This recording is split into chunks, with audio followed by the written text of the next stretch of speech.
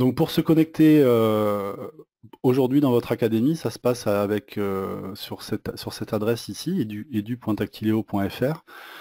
Euh, et vous vous connectez avec l'UAI, qui est l'ex-RNE de votre établissement.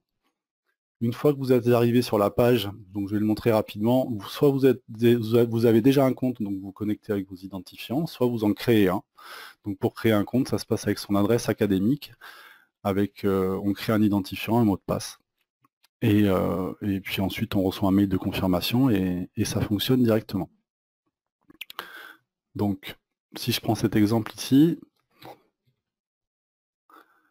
l'UI de votre établissement, on se connecte, et ici, vous pouvez vous inscrire si vous n'êtes pas encore inscrit. Alors moi, j'étais déjà connecté, donc il m'a reconnu. Mais sinon, je vous l'ai montré dans le slide, euh, euh, vous pouvez vous créer un compte et ensuite vous connecter avec votre établissement. Alors dans votre, euh, région, euh, il y en a qui ont des ENT euh, qui fonctionnent avec Atrium. Donc Mascot et Tactileo nous ont dit que la connexion directement à partir d'Atrium aux plateformes Tactileo est en cours. Donc c'est un travail qui est en cours. Donc quand il sera terminé, les élèves et les enseignants pourront se connecter à leur ENT et directement à partir de l'ENT aller dans la plateforme Tactileo sans avoir besoin de se réidentifier.